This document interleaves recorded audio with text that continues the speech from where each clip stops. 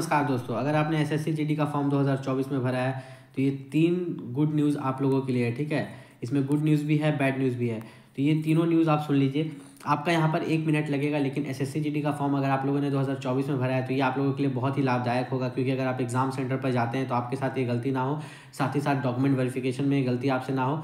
और यहाँ पर बात करेंगे फ़ोटो के बारे में भी, जो फ़ोटो लोग फ़ोटो को लेकर डाउट था, ठीक है? यहाँ पर अगर हम बात करें तो आपका एग्ज़ाम जो शुरू होने वाला है, बीस फरवरी से है, ठीक है? बीस फरवरी से आपका एग्ज़ाम शुरू होने वाला है। इस एग्ज़ाम डेट में कोई चेंजेस नहीं होने वाले हैं। आप जिस तरह से तैयारी कर रहे हैं, खूब तैयारी कीजिए, मॉक लगाइए, टेस्ट सीरीज़, ठीक है? मतलब जैसे एग्ज़ाम में वहाँ एग्ज़ाम देने वाले हैं, घर में भी प्रैक्टिस कीजिए, टाइम लिमिट लगा के उसी तरीके से प्रैक्टिस कीजिए। सबसे पहली बात बात करें कि बहुत बच्चों का फॉर्म यहाँ पर रिजेक्ट हो रहा है और साथ ही साथ अभी जो रिजेक्ट नहीं हो रहा है, वो बाद में डॉक्यूमेंट वेरिफिकेशन में बहुत बच्चे छट ना जाए। जो गलती पिछले साल वाले बच्चे ने किया था, आप ना करें। अगर कास्ट सर्टिफिकेट आपने क्रूसियल डेट से पहले नहीं बनाया है, ठीक है? तो उस उस कास्ट सर्टिफिकेट को मान लीजिए आप क्रूसियल डेट से बाद में बना रहे हैं फॉर्म भर दिए, अभी बाद में कास्ट सर्टिफिकेट बनवा रहे हैं। तो तो क्रूसियल डेट के बाद का कास्ट सर्टिफिकेट बन रहा है। तो साथ में आप एक हेफिडेपिट भी बना लीजिएगा। अभी नहीं, अभी सिर्फ़ कास्ट सर्टिफिकेट बनवा लीजिए।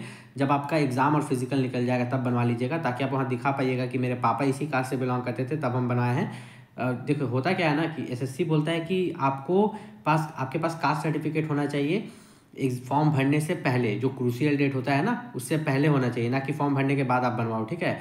तो इस तरीक़ा से अगर आप फॉर्म भरने के बाद बनवाते हैं तो आपको डीवी में छाटा भी जा सकता है डीवी में छाटा भी जा सकता है, ठीक है?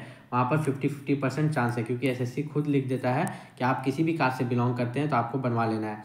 अगर यहाँ पर बात करें हम जनरल कैंडिडेट वालों के लिए भी तो यहाँ पर देखो इस बार एग्ज़ाम में वहाँ पर जैमर्स लगे हुए रहेंगे। ये बात तो मैंने पहले भी बताया था कि एग्ज़ाम में जैमर्स लगे हुए रहेंगे। तो इस बार क्या होगा कि जितने बच्चे अच्छे से तैयारी कर रहे हैं, उनके सेलेक्ट होने के चांसेस ज़्यादा होने वाले हैं, ठीक है?